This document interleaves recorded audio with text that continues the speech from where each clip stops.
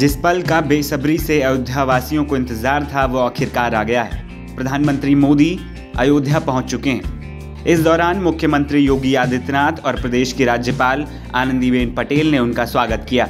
Airport पर उतरने के बाद प्रधानमंत्री मोदी अपने काफिले के साथ सड़क पर आए, जहाँ सड़क के दोनों ओर जनता का हुजूम उमड़ पड़ा।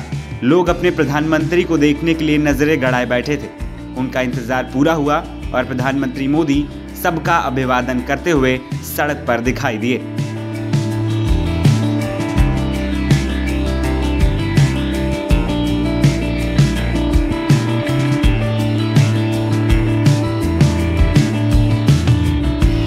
इस दौरान सड़क के दोनों तरफ़ पारंपरिक कार्यक्रमों का भी आयोजन किया गया।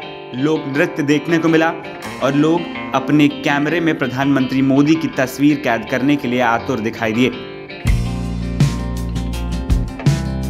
ये मौका हर अयोध्या वासी के लिए बेहद खास है।